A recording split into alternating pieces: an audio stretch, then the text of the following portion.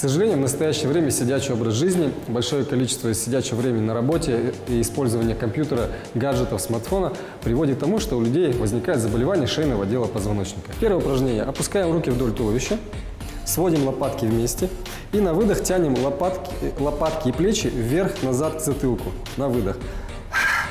На вдох плавно опускаем вниз. Стараемся акцентировать выдох через рот.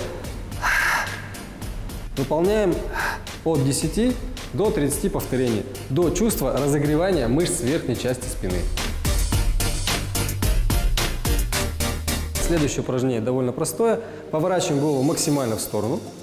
В сторону, допустим, от меня. Чувствуем напряжение угол между шеей и мышцами плеч. Почувствуем напряжение. И в этом положении с напряжением в этой точке приподнимаем голову вверх, смотрим вверх по диагонали.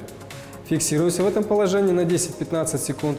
Затем плавно опускаем голову до исходного положения и поворачиваем в другую сторону. Также зафиксировали напряжение между шеей и мышцами плеча и приподняли голову вверх. Посмотрели по диагонали вверх. Фиксация на 15-20 секунд. Повторяем от 2 до 3 раз на каждую сторону.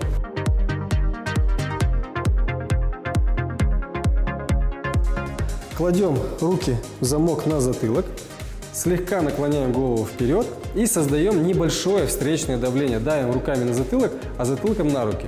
Фиксируем растяжку от 15 до 30 секунд и после этого опускаем руки и плавно поднимаемся вверх.